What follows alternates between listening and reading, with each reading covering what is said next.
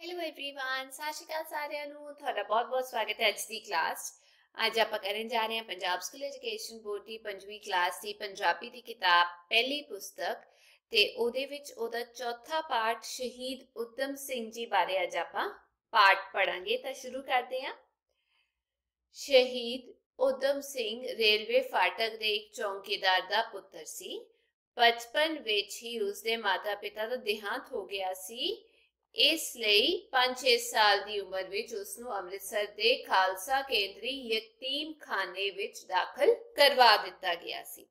ਔਰ ਇੱਥੇ ਦੱਸਿਆ ਗਿਆ ਹੈ ਵੀ ਸਰਦਾਰ ਉਤਮ ਸਿੰਘ ਜੀ ਰੇਲਵੇ ਫਾਟਕ ਦੇ ਇੱਕ ਚੌਕੀਦਾਰ ਜਿਹੜੇ ਸੀਗੇ, ਉਹਨਾਂ ਦੇ ਪੁੱਤਰ ਸੀਗੇ ਤੇ ਬਚਪਨ ਵਿੱਚ ਹੀ ਉਹਨਾਂ ਦੇ ਮਾਤਾ-ਪਿਤਾ ਦਾ ਦੇਹਾਂਤ ਹੋ ਗਿਆ ਸੀ, ਮੌਤ ਹੋ ਗਈ ਸੀ, ਜਿਸ ਕਰਕੇ ਜਦੋਂ 5-6 ਸਾਲ ਦੇ ਹੋਏ ਤਾਂ ਉਹਨਾਂ ਨੂੰ ਅੰਮ੍ਰਿਤਸਰ ਦੇ ਵਿੱਚ ਦਾਖਲ ਕਰਾ ਦਿੱਤਾ ਗਿਆ ਸੀ। ਇੱਕ ਯਤੀਮ ਖਾਨਾ ਯਤੀਮ ਖਾਨਾ ਉਹ ਥਾਂ ਹੁੰਦੀ ਹੈ ਜਿੱਥੇ ਉਹ ਬੱਚੇ ਰਹਿੰਦੇ ਨੇ ਜਿਨ੍ਹਾਂ ਦੇ ਮਾਪੇ ਨਹੀਂ ਹੁੰਦੇ। ਤਾਂ ਉਹਨਾਂ ਨੂੰ ਵੀ ਉੱਥੇ ਦਾਖਲ ਕਰਵਾ ਦਿੱਤਾ ਗਿਆ ਸੀ। ਉਹਨਾਂ ਦਿਨਾਂ ਵਿੱਚ ਅੰਮ੍ਰਿਤਸਰ ਸ਼ਹਿਰ ਉਦਯੋਗਿਕ, ਵਪਾਰਿਕ ਅਤੇ ਵਿਦਿਆ ਦੇ ਖੇਤਰਾਂ ਵਿੱਚ ਬੜੀ ਤਰੱਕੀ ਕਰ ਰਿਹਾ ਸੀ। ਇਸ ਤਰੱਕੀ ਦੇ ਨਾਲ-ਨਾਲ ਉਥੋਂ ਦੇ ਲੋਕਾਂ ਵਿੱਚ ਰਾਜਨੀਤਿਕ ਜਾਗਰਤੀ ਵੀ ਆ ਰਹੀ ਸੀ। ਜਦੋਂ ਉਦਮ ਸਿੰਘ ਸਕੂਲ ਵਿੱਚ ਪੜ ਰਿਹਾ ਸੀ ਤਾਂ ਅੰਮ੍ਰਿਤਸਰ ਵਿੱਚ ਜਲਿਆਂਵਾਲੇ ਬਾਗ ਦਾ ਖੂਨੀ ਸਾਕਾ ਵਾਪਰਿਆ। ਉਦਮ ਸਿੰਘ ਨੇ ਆਪਣੀ ਅੱਖੀ 500 ਤੋਂ ਵੱਧ ਬੰਦਿਆਂ ਨੂੰ ਗੋਲੀਆਂ ਨਾਲ ਭੁੰਨੇ ਹੋਏ ਵੇਖਿਆ ਸੀ। ਉਸ ਦੇ ਮਨ ਉੱਤੇ ਇਸ ਕਤਲੇਆਮ ਦਾ ਬੜਾ ਡੂੰਘਾ ਅਸਰ ਹੋਇਆ। ਉਸ ਦੇ ਮਨ ਉੱਤੇ ਇਸ ਗੱਲ ਦਾ ਹਮੇਸ਼ਾ ਪਾਰ ਰਹਿਣ ਲੱਗ ਪਿਆ। ਉਹ ਕਿਸੇ ਨਾ ਕਿਸੇ ਤਰੀਕੇ ਨਾਲ ਇਸ ਦਾ ਬਦਲਾ ਲੈਣਾ ਚਾਹੁੰਦਾ ਸੀ। ਤੇ ਇੱਥੇ ਦੱਸਿਆ ਗਿਆ ਵੀ ਉਹਨਾਂ ਦਿਨਾਂ ਵਿੱਚ ਜਦ ਉਹਨਾਂ ਨੂੰ ਯਤੀਮਖਾਨੇ ਵਿੱਚ ਭਰਤੀ ਕੀਤਾ ਗਿਆ, ਉਹਨਾਂ ਦਿਨਾਂ ਦੇ ਵਿੱਚ ਅੰਮ੍ਰਿਤਸਰ ਦੇ ਵਿੱਚ ਉਦਯੋਗਿਕ ਕਹਿਣ ਦਾ ਮਤਲਬ ਵੱਖ-ਵੱਖ ਕਾਰਖਾਨੇ ਜਿਹੜੇ ਨੇ ਉਹ ਖੁੱਲ੍ਹਣੇ ਸ਼ੁਰੂ ਹੋ ਗਏ ਸੀ, ਵਪਾਰਿਕ ਯਾਨੀ ਖਰੀਦ ਵੇਚਣ ਦੇ ਸੰਬੰਧਿਤ ਚੀਜ਼ਾਂ। ਨਾਲ ਦੀ ਨਾਲ ਵਿਦਿਆ ਦੇ ਖੇਤਰ ਦੇ ਵਿੱਚ, ਪੜ੍ਹਾਈ ਲਿਖਾਈ ਦੇ ਖੇਤਰ ਦੇ ਵਿੱਚ ਕਾਫੀ ਤਰੱਕੀ ਹੋ ਰਹੀ ਸੀ ਤੇ ਇਹ ਤਰੱਕੀ ਜਿਹੜੀ ਹੈ ਉੱਥੇ ਦੇ ਲੋਕ ਇਹਨਾਂ ਭਾਗਾਂ ਵਿੱਚ ਤਰੱਕੀ ਦੇ ਕੇ ਉਹ ਰਾਜਨੀਤੀ ਵਿੱਚ ਵੀ ਉਹਨਾਂ ਦੀ ਜਿਹੜੀ ਜਾਗਰਤੀ ਹੈਗੀ ਹੈ, ਯਾਨੀ ਆਪਾਂ ਇਹ ਕਹਿ ਸਕਦੇ ਹਾਂ ਮਤਲਬ ਉਹ ਹਿੱਸਾ ਲੈਣਾ ਸ਼ੁਰੂ ਕਰ ਰਹੇ ਸੀ, ਠੀਕ ਹੈ? ਉਹ ਉਹ ਜਾਗਰੂਕ ਹੋ ਰਹੇ ਸੀ ਬਹੁਤ ਜ਼ਿਆਦਾ ਤੇ ਜਦੋਂ ਉਦਮ ਸਿੰਘ ਉਦਮ ਸਿੰਘ ਜੀ ਸਕੂਲ ਵਿੱਚ ਪੜ ਰਹੇ ਸੀ ਤਾਂ ਅੰਮ੍ਰਿਤਸਰ ਦੇ ਵਿੱਚ ਉਹ ਜਲਿਆਂ ਵਾਲਾ ਜਿਹੜਾ ਹਾਦਸਾ ਹੈਗਾ ਖੂਨੀ ਸਾਕਾ ਖੂਨੀ ਸਾਕਾ ਯਾਨੀ ਵੱਡੀ ਪੱਤਰ ਤੇ ਜਿਹੜੇ ਪੱਧਰ ਤੇ ਜਿਹੜੇ ਕਤਲ ਹੋ ਰਹੇ ਸੀ, ਉਹ ਉਹਨਾਂ ਨੇ ਦੇਖਿਆ ਸੀ। ਉਦਮ ਸਿੰਘ ਨੇ ਆਪਣੇ ਅੱਖੀ ਉੱਥੇ, ਮਤਲਬ ਤੁਸੀਂ ਕਹਿ ਸਕਦੇ ਹੋ 500 ਤੋਂ ਵੱਧ ਬੰਦਿਆਂ ਨੂੰ ਗੋਲੀਆਂ ਨਾਲ ਭੁੰਨੇ ਹੋਏ ਦੇਖਿਆ ਸੀ ਉੱਥੇ। ਤੇ ਉਹਨਾਂ ਦਾ ਨਾ ਉਸ ਚੀਜ਼ ਨੂੰ ਦੇਖ ਕੇ ਮਨ ਦੇ ਉੱਤੇ ਨਾ ਬੜਾ ਮਤਲਬ ਪ੍ਰਭਾਵ ਪਿਆ ਸੀ ਉਸ ਚੀਜ਼ ਦਾ, ਕਤਲੇਆਮ ਦਾ, ਉਸ ਮੌਤ ਦਾ ਲੋਕਾਂ ਦੀ ਤੇ ਉਹ ਗੱਲ ਉਹਨਾਂ ਦੇ ਜ਼ਿਹਨ ਦੇ ਵਿੱਚ ਹਮੇਸ਼ਾ ਰਹਿ ਗਈ ਸੀ।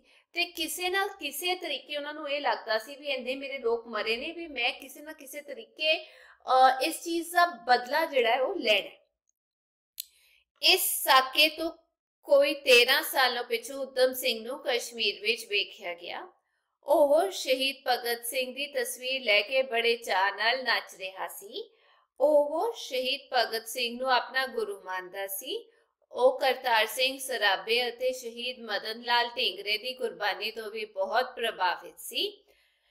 ਇਹਨਾਂ ਸ਼ਹੀਦਾਂ ਵਾਂਗੀ ਉਸਦੇ ਮਨ ਵਿੱਚ ਵੀ ਇਨਕਲਾਬੀ ਜੋਸ਼ ਠਾਠਾ ਮਾਰਨ ਲੱਗ ਪਿਆ ਸੀ।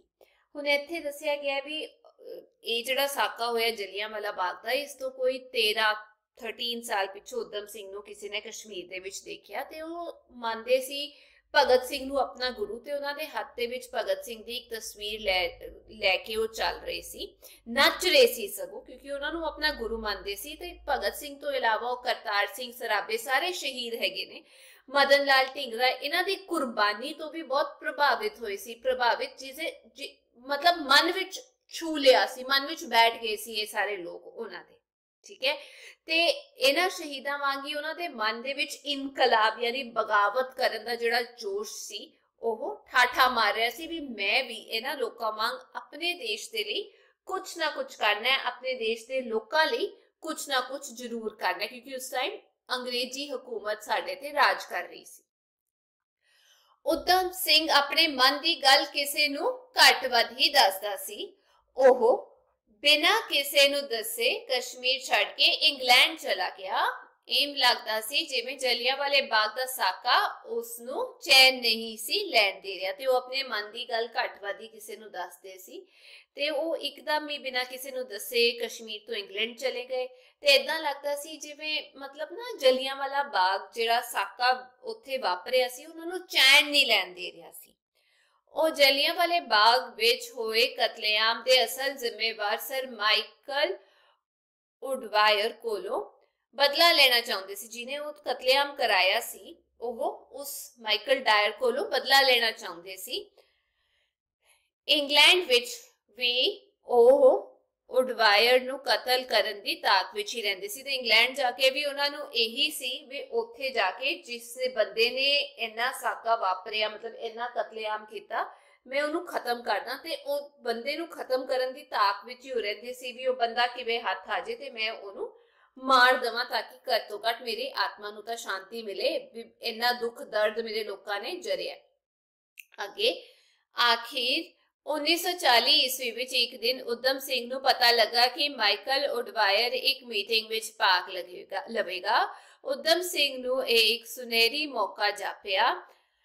ਉਹ ਕਿਸੇ ਨਾ ਕਿਸੇ ਤਰ੍ਹਾਂ ਮੀਟਿੰਗ ਵਿੱਚ ਪਹੁੰਚ ਗਿਆ। ਜੇ ਮੀਟਿੰਗ ਖਤਮ ਹੀ ਹੋਈ ਸੀ ਕਿ ਉਸਨੇ ਆਪਣਾ ਲੁਕਿਆ ਹੋਇਆ ਪਿਸਤੌਲ ਕੱਢਿਆ ਤੇ ਮਾਈਕਲ ਉਡਵਾਇਰ ਨੂੰ ਗੋਲੀਆਂ ਮਾਰ ਕੇ ਖਤਮ ਕਰ ਦਿੱਤਾ ਤੇ ਇੱਥੇ ਦੱਸਿਆ ਗਿਆ ਹੈ ਵੀ ਅਖੀਰ ਦੇ ਵਿੱਚ 1940 ਵਿੱਚ ਉਹਨਾਂ ਨੂੰ ਮੌਕਾ ਮਿਲਿਆ। ਇੱਕ ਦਿਨ ਉਦਮ ਸਿੰਘ ਨੂੰ ਪਤਾ ਲੱਗਿਆ ਕਿ ਉਹ ਮਾਈਕਲ ਉਡਵਾਇਰ ਜਿਹੜਾ ਇੱਕ ਮੀਟਿੰਗ ਤੇ ਜਾ ਰਿਹਾ ਹੈ।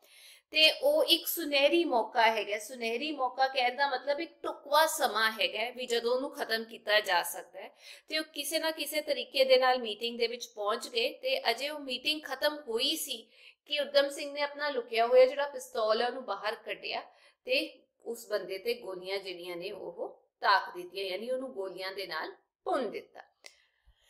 ਉਡਵਾਇਰ ਨੂੰ ਮਾਰ ਕੇ ਉਦਮ ਸਿੰਘ ਆਪਣੇ ਬਚਾ ਲਈ ਉੱਥੋਂ ਭੱਜਿਆ ਨਹੀਂ ਸਗੋਂ ਉੱਥੇ ਹੀ ਡਟਿਆ ਖੜਾ ਰਿਹਾ। ਹਾਲਾਂਕਿ ਉਸ ਕੋਲ ਕਈ ਗੋਲੀਆਂ ਬਾਕੀ ਸਨ ਤੇ ਇੱਕ ਚਾਕੂ ਵੀ ਸੀ। ਜੇ ਉਹ ਚਾਹੁੰਦਾ ਤਾਂ ਹੋਰ ਅੰਗਰੇਜ਼ਾਂ ਨੂੰ ਮਾਰ ਕੇ ਉੱਥੋਂ ਭੱਜ ਸਕਦਾ ਸੀ। ਇਸ ਘਟਨਾ ਨਾਲ ਇੰਨਾ ਸਹਿਮ ਛਾ ਗਿਆ ਕਿ ਪੁਲਿਸ ਇੰਸਪੈਕਟਰ ਨੇ ਵੀ ਉਦਮ ਸਿੰਘ ਨੂੰ ਡਰਦਿਆਂ ਡਰਦਿਆਂ ਗ੍ਰਿਫਤਾਰ ਕੀਤਾ। ਤੇ ਇੱਥੇ ਦੱਸਿਆ ਗਿਆ ਵੀ ਜਦੋਂ ਨੇ ਉਡਾਇਰ ਨੂੰ ਮਾਰ ਦਿੱਤਾ ਤਾਂ ਆਪਣੇ ਬਚਾ ਲਈ, ਆਪਣੇ ਆਪ ਨੂੰ ਬਚਾਉਣ ਲਈ ਉੱਥੇ, ਉੱਥੋਂ ਭੱਜੇ ਨਹੀਂ ਸਗੋਂ ਉੱਥੇ ਡਟੇ ਰਹੇ ਖੜੇ ਰਹੇ। ਹਾਲਾਂਕਿ ਉਹਨਾਂ ਕੋਲ ਹੋਰ ਗੋਲੀਆਂ ਵੀ ਸੀਗੀਆਂ ਤੇ ਚਾਕੂ ਵੀ ਸੀਗਾ। ਜੇ ਉਹ ਚਾਹੁੰਦੇ ਤੇ ਉਡਾਇਰ ਨੂੰ ਮਾਰ ਕੇ ਉਹ ਹੋਰ ਜਿੰਨੇ ਵੀ ਅੰਗਰੇਜ਼ ਹੈਗੇ ਨੇ, ਉਹਨਾਂ ਤੋਂ ਬਦਲਾ ਲੈ ਸਕਦੇ ਸੀ, ਉਹਨਾਂ ਨੂੰ ਵੀ ਮਾਰ ਸਕਦੇ ਸੀ। ਪਰ ਉਹ ਇਦਾਂ ਨਹੀਂ ਕਰਨਾ ਚਾਹੁੰਦੇ ਸੀ। ਉਹ ਸਿਰਫ ਆਪਣਾ ਬਦਲਾ ਜਲੀਆਂ ਵਾਲੇ ਬਾਗ ਦੇ ਸਾਕੇ ਨਾਲ ਹੀ ਸੀਮਿਤ ਰੱਖਣਾ ਚਾਹੁੰਦੇ ਸੀ। ਤੇ ਇੰਨਾ ਜ਼ਿਆਦਾ ਉਹਨਾਂ ਨੂੰ ਮਤਲਬ ਚਾਕੂ ਹੋਣ ਦੇ ਬਾਵਜੂਦ ਉਹਨਾਂ ਕੋਲ ਹਿੰਮਤ ਸੀ। ਠੀਕ ਹੈ, ਕਿ ਉਹ ਹੋਰ ਕੁਝ ਨਹੀਂ ਨੁਕਸਾਨ ਪਹੁੰਚਾਉਣਾ ਚਾਹੁੰਦੇ। ਇਸ ਸਾਕੇ ਦਾ, ਇਸ ਘਟਨਾ ਦਾ, ਦੇਖ ਕੇ ਨਜ਼ਾਰਾ, ਲੋਕ ਜਿਹੜੇ ਨੇ, ਉਹ ਉੱਥੇ ਇੰਨੇ ਜ਼ਿਆਦਾ ਸਹਿਮ ਗਏ। ਇੰਨੇ ਜ਼ਿਆਦਾ ਡਰ ਗਏ ਕਿ ਜਿਸ ਇੰਸਪੈਕਟਰ ਨੇ ਉਹਨਾਂ ਨੂੰ ਗ੍ਰਿਫਤਾਰ ਕੀਤਾ, ਉਹਨੇ ਵੀ ਡਰ ਡਰ ਕੇ ਉਹਨਾਂ ਨੂੰ ਗ੍ਰਿਫਤਾਰ ਕੀਤਾ। ਅੱਗੇ ਉਦਮ ਸਿੰਘ ਨੂੰ ਇਸ ਗੱਲ ਦੀ ਕੋਈ ਚਿੰਤਾ ਨਹੀਂ ਸੀ ਕਿ ਇਸ ਘਟਨਾ ਬਦਲੇ ਉਸ ਨੂੰ ਕੀ ਸਜ਼ਾ ਮਿਲੇਗੀ। ਮੁਕਦਮਾ ਚੱਲਿਆ ਤਾਂ ਉਸਨੇ ਆਪਣੇ ਬਚਾ ਲਈ ਕੋਈ ਵਕੀਲ ਨਹੀਂ ਕੀਤਾ। ਉਸਨੇ ਬੜੀ ਦਲੇਰੀ ਨਾਲ ਬਿਆਨ ਦਿੰਦਿਆਂ ਕਿਹਾ, ਮੈਂ ਮਾਈਕਲ ਉਡਵਾਇਰ ਨੂੰ ਮਾਰ ਕੇ ਦੇਸ਼ ਦੀ ਖਾਤਰ ਆਪਣਾ ਫਰਜ਼ ਨਿਭਾਇਆ ਹੈ। ਇਸ ਲਈ ਮੈਂ ਫਾਂਸੀ ਉੱਤੇ ਝੂਲ ਜਾਣਾ ਹੀ ਚੰਗਾ ਸਮਝਾਂਗਾ। ਇਸ ਮਹਾਨ ਸੂਰਮੇ ਇਨਕਲਾਬੀ ਨੂੰ ਇਸੇ ਜੁਰਮ ਬਦਲੇ ਫਾਂਸੀ ਦੀ ਸਜ਼ਾ ਦਿੱਤੀ ਗਈ ਤੇ ਇੱਥੇ ਦੱਸਿਆ ਗਿਆ ਵੀ ਉਦਮ ਸਿੰਘ ਨੂੰ ਇਸ ਗੱਲ ਦੀ ਕੋਈ ਟੈਨਸ਼ਨ ਨਹੀਂ ਸੀ, ਕੋਈ ਚਿੰਤਾ ਨਹੀਂ ਸੀ ਵੀ ਇਹ ਕਰਨ ਤੋਂ ਬਾਅਦ ਉਹਨਾਂ ਨੂੰ ਫਾਂਸੀ ਦਿੱਤੀ ਜਾਏਗੀ, ਹੈ ਨਾ?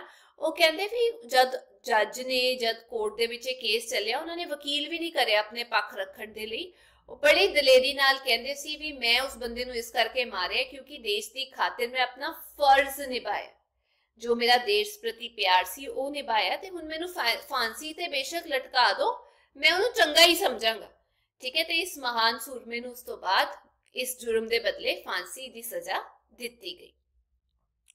ਅੱਗੇ ਚੱਲਦੇ ਹਾਂ, ਕੁਝ ਗੱਲਾਂ ਦੱਸੀਆਂ ਗਈਆਂ, ਕੁਝ ਹੋਰ ਯਾਦ ਰੱਖਣ ਯੋਗ ਗੱਲਾਂ ਹੈਗੀਆਂ ਨੇ। ਪਹਿਲੀ ਗੱਲ, ਸ਼ਹੀਦ ਉਦਮ ਸਿੰਘ ਦਾ ਜਨਮ 26 ਦਸੰਬਰ 1899 ਈਸਵੀ ਨੂੰ ਪਿੰਡ ਸੁਨਾਮ ਜ਼ਿਲ੍ਹਾ ਸੰਗਰੂਰ ਵਿੱਚ ਹੋਇਆ।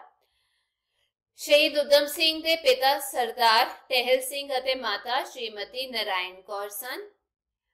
ਪਹਿਲਾ ਸ਼ਹੀਦ ਉਦਮ ਸਿੰਘ ਦਾ ਨਾਮ ਸ਼ੇਰ ਸਿੰਘ ਸੀ ਯਤੀਮਖਾਨੇ ਦਾਖਲ ਹੋਣ ਸਮੇਂ ਉਸ ਦਾ ਨਾਮ ਬਦਲ ਕੇ ਉਦਮ ਸਿੰਘ ਰੱਖਿਆ ਗਿਆ ਸੀ ਸ਼ਹੀਦ ਉਦਮ ਸਿੰਘ ਸ਼ਹੀਦ ਭਗਤ ਸਿੰਘ ਨੂੰ ਆਪਣਾ ਗੁਰੂ ਮੰਨਦਾ ਸੀ ਅੱਗੇ ਸ਼ਹੀਦ ਉਦਮ ਸਿੰਘ ਨੂੰ 31 ਜੁਲਾਈ 1940 ਈਸਵੀ ਨੂੰ ਅੰਗਰੇਜ਼ਾਂ ਨੇ ਲੰਡਨ 'ਚ ਫਾਂਸੀ ਦਿੱਤੀ ਅੱਗੇ ਹੈਗਾ ਪਾਠ ਅਭਿਆਸ ਊੜਾ ਪਾਠ ਹੈਗਾ ਜ਼ੁਬਾਨੀ ਆਪਾਂ ਅਭਿਆਸ ਕਰਨਾ ਹੈ। ਤਾਂ ਚਲੋ ਸ਼ੁਰੂ ਕਰਦੇ ਹਾਂ। ਪਹਿਲਾ ਪ੍ਰਸ਼ਨ, ਸ਼ਹੀਦ ਉਦਮ ਸਿੰਘ ਦੇ ਪਿਤਾ ਜੀ ਕੀ ਕੰਮ ਕਰਦੇ ਸਨ? ਉੱਤਰ, ਸ਼ਹੀਦ ਉਦਮ ਸਿੰਘ ਦੇ ਪਿਤਾ ਜੀ ਰੇਲਵੇ ਫਾਟਕ ਦੇ ਚੌਕੀਦਾਰ ਸਨ। ਦੂਜਾ, ਜਲੀਆਂ ਵਾਲੇ ਬਾਗ ਵਿੱਚ ਸ਼ਹੀਦ ਉਦਮ ਸਿੰਘ ਨੇ ਕੀ ਵੇਖਿਆ ਸੀ?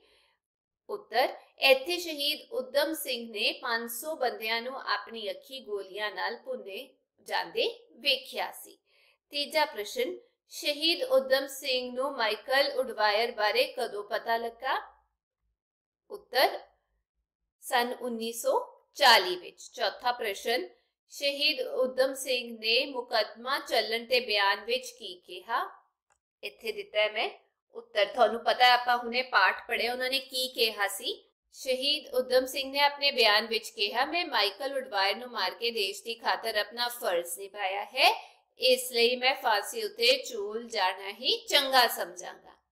ਅੱਗੇ ਐੜਾ ਭਾਗ ਹੈਗਾ ਪਾਠ ਵਿੱਚੋਂ ਹੇਠ ਲਿਖੇ ਪੈਰੇ ਵਿੱਚੋਂ ਦਿੱਤੇ ਗਏ ਪ੍ਰਸ਼ਨਾਂ ਦੇ ਉੱਤਰ ਲਿਖੋ। ਇਹ ਪੈਰਾਗ੍ਰਾਫ ਹੈਗਾ ਤੁਸੀਂ ਦੇਖ ਸਕਦੇ ਹੋ ਕਿਹੜਾ ਪੈਰਾਗ੍ਰਾਫ ਹੈਗਾ ਤੇ ਹੁਣ ਆਪਾਂ ਪ੍ਰਸ਼ਨਾਂ ਦੇ ਉੱਤਰ ਦਵਾਂਗੇ। ਪਹਿਲਾ ਪ੍ਰਸ਼ਨ ਜਲਿਆਂਵਾਲੇ ਬਾਗ ਦੇ ਕਤਲੇਆਮ ਦਾ ਅਸਰ, ਅਸਲ ਜ਼ਿੰਮੇਦਾਰ ਕੌਣ ਸੀ? ਇੱਥੇ ਉੱਤਰ ਲਿਖਿਆ ਸਰ ਮਾਈਕਲ ਉਡਵਾਇਰ ਦੂਜਾ ਪ੍ਰਸ਼ਨ, ਮੀਟਿੰਗ ਵਿੱਚ ਪਹੁੰਚ ਕੇ ਸ਼ਹੀਦ ਉਦਮ ਸਿੰਘ ਨੇ ਕੀ ਕੀਤਾ? ਤੇ ਇਹਦਾ ਮੈਂ ਉੱਤਰ ਲਿਖਿਆ ਹੈ, ਮੀਟਿੰਗ ਵਿੱਚ ਪਹੁੰਚ ਕੇ ਉਦਮ ਸਿੰਘ ਨੇ ਆਪਣਾ ਲੁਕੋਇਆ ਪਿਸਤੌਲ ਕਟਿਆ ਤੇ ਮਾਈਕਲ ਉਡਾਇਰ ਨੂੰ ਗੋਲੀਆਂ ਮਾਰ ਕੇ ਖਤਮ ਕਰ ਦਿੱਤਾ।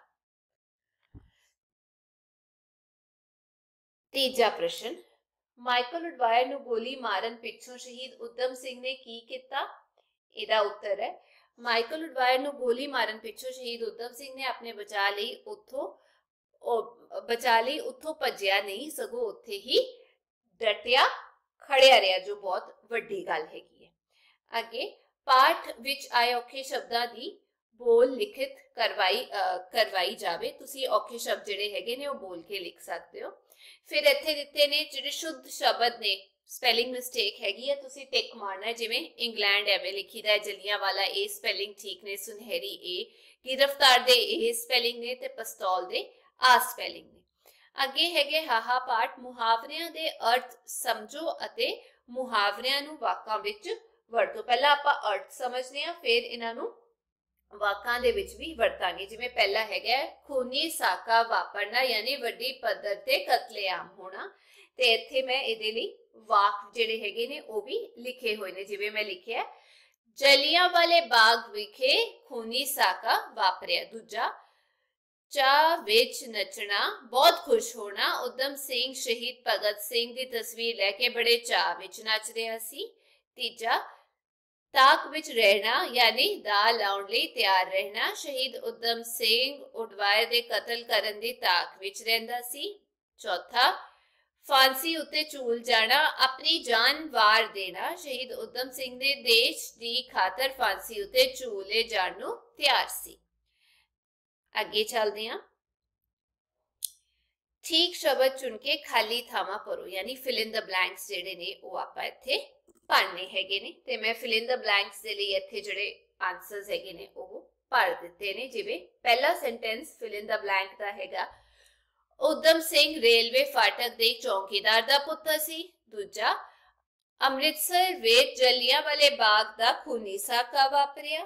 ਤੀਜਾ ਉਦਮ ਸਿੰਘ ਦੇ ਮਨ ਉਤੇ ਇਸ ਕਤਲੇਆਮ ਦਾ ਬੜਾ ਡੂੰਘਾ ਅਸਰ ਪਿਆ। ਸੱਸਾ, ਇੰਗਲੈਂਡ ਵਿੱਚ ਉਹ ਉਡਵਾਇਰ ਨੂੰ ਕਤਲ ਕਰਨ ਦੀ ਤਾਕ ਵਿੱਚ ਹੀ ਰਹਿੰਦਾ ਸੀ। ਹਾਂ ਹਾਂ, ਮੈਂ ਮਾਈਕਲ ਉਡਵਾਇਰ ਨੂੰ ਮਾਰ ਕੇ ਆਪਣੇ ਦੇਸ਼ ਦੀ ਖਾਤਰ ਫਰਜ਼ ਨਿਭਾਇਆ ਅੱਗੇ ਹੈਗਾ ਕਿਸੇ ਪੰਜ ਕੌਮੀ ਸ਼ਹੀਦਾਂ ਦੇ ਨਾਂ ਲਿਖੋ ਤੇ ਮੈਂ ਇੱਥੇ ਲਿਖਤੇ ਸ਼ਹੀਦ ਸੈਂਟਰ 'ਚ ਲਿਖਿਆ ਹੈ, ਸਰਦਾਰ ਉਦਮ ਸਿੰਘ, ਕਰਤਾਰ ਸਿੰਘ ਸਰਾਭਾ, ਮਦਨ ਲਾਲ ਢੀਂਗਰਾ, ਸਰਦਾਰ ਭਗਤ ਸਿੰਘ ਰਾਜਗੁਰੂ ਤੇ ਸੁਖਦੇਵ। ਇਹਨਾਂ ਸਾਰਿਆਂ ਦੇ ਨਾਮ ਮੈਂ ਲਿਖ ਅਗਲਾ ਸਵਾਲ ਹੈ, ਆਪਣੇ ਸਕੂਲ ਦੇ ਮੁੱਖ ਅਧਿਆਪਕ ਜਾਂ ਅਧਿਆਪਿਕਾ ਨੂੰ ਸਕੂਲ ਵਿੱਚ ਦੇਰੀ ਨਾਲ ਆਉਣ ਦਾ ਕਾਰਨ ਦੱਸਣ ਲਈ ਅਰਜ਼ੀ ਲਿਖੋ।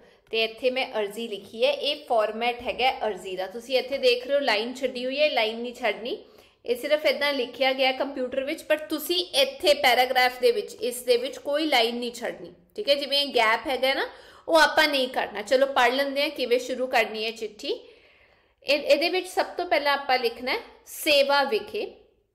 ਉਸ ਤੋਂ ਬਾਅਦ ਜਿਹਨੂੰ ਆਪਾਂ ਚਿੱਠੀ ਲਿਖ ਰਹੇ ਆ ਨਾ, ਹੋ ਸਕਦਾ ਤੁਹਾਡੇ ਮੁੱਖ ਅਧਿਆਪਕ ਹੋਣ ਜਾਂ ਅਧਿਆਪਿਕਾ ਜੀ। ਫਿਰ ਕੋਮਾ ਪਾਣਾ ਹੈ, ਫਿਰ ਸਰਕਾਰੀ ਮਿਡਲ ਸਕੂਲ ਕੋਮਾ ਪਿੰਡ ਕਿਹੜਾ ਹੈ, ਉਹ ਇੱਥੇ ਲਿਖ ਲਿਓ ਸ਼੍ਰੀਮਾਨ ਜੀ। ਸਨੀਮਰ ਬੇਨਤੀ ਹੈ ਕਿ ਅੱਜ ਮੈਂ ਘਰ ਵਿੱਚ ਮਾਤਾ ਜੀ ਦੇ ਅਚਾਨਕ ਬਿਮਾਰ ਹੋਣ ਤੇ ਉਹਨਾਂ ਨੂੰ ਡਾਕਟਰ ਕੋਲ ਦਿਖਾ ਕੇ ਦਵਾਈ ਲਿਆਉਣ ਕਾਰਨ ਸਕੂਲ ਵਿੱਚ ਤੀਜੇ ਪੀਰੀਅਡ ਤੋਂ ਮਗਰੋਂ ਪੁੱਜਾ, ਹਾਂ। ਮੇਰੇ ਮਾਤਾ ਜੀ ਘਰ ਵਿੱਚ ਇਕੱਲੇ ਹਨ ਤੇ ਉਹਨਾਂ ਨੂੰ ਇਸ ਸਮੇਂ ਵੀ ਮੇਰੇ ਘਰ ਵਿੱਚ ਜ਼ਰੂਰਤ ਹੈ, ਪਰ ਮੈਂ ਹਿਸਾਬ ਦਾ ਚੌਥਾ ਤੇ ਅੰਗਰੇਜ਼ੀ ਦਾ ਸੱਤਵਾਂ ਪੀਰੀਅਡ ਨਹੀਂ ਸੀ ਛੱਡਣੇ ਚਾਹੁੰਦਾ। ਇਸ ਕਰਕੇ ਮੈਂ ਸਕੂਲ ਆ ਗਿਆ ਹਾਂ। ਕਿਰਪਾ ਕਰਕੇ ਇਸ ਦੇਰੀ ਲਈ ਮੈਨੂੰ ਕੋਈ ਜੁਰਮਾਨਾ ਨਾ ਲਾਇਆ ਜਾਵੇ ਤੇ ਨਾਲ ਹੀ ਮੈਨੂੰ ਅਗਲੇ ਪੀਰੀਅਡ ਪੜਨ ਦੀ ਆਗਿਆ ਦਿੱਤੀ ਜਾਵੇ। ਧੰਨਵਾਦ, ਸਹਿਤ। ਆਪ ਦਾ ਆਗਿਆਕਾਰੀ ਮਿਤੀ ਲਿਖੋਗੇ। ਫਿਰ ਤੁਸੀਂ ਆਪਣਾ ਨਾਂ, ਰੋਲ ਨੰਬਰ ਤੇ ਕਲਾਸ ਪੰਜਵੀਂ ਜੋ ਵੀ ਹੈਗੀ ਹੈ ਏ ਬੀ ਸੀ ਉਹ ਲਿਖੋਗੇ। ਤੇ ਇਹ ਸੀਗੀ ਅੱਜ ਦੀ ਕਲਾਸ। ਮੈਂ ਉਮੀਦ ਕਰਦੀ ਹਾਂ ਇਸ ਪਾਰਟ ਦੇ ਪ੍ਰਸ਼ਨ ਉੱਤਰ ਤੁਹਾਨੂੰ ਸਮਝ ਆ ਗਏ ਹੋਣਗੇ। ਜੇ ਵੀਡੀਓ ਵਧੀਆ ਲੱਗੀ ਤਾਂ ਚੈਨਲ ਨੂੰ ਲਾਈਕ, ਸ਼ੇਅਰ, ਸਬਸਕ੍ਰਾਈਬ ਕਰਨਾ ਨਾ ਭੁੱਲਿਓ। ਆਪਾਂ ਫੇਰ ਮਿਲਾਂਗੇ। Till then take care bye bye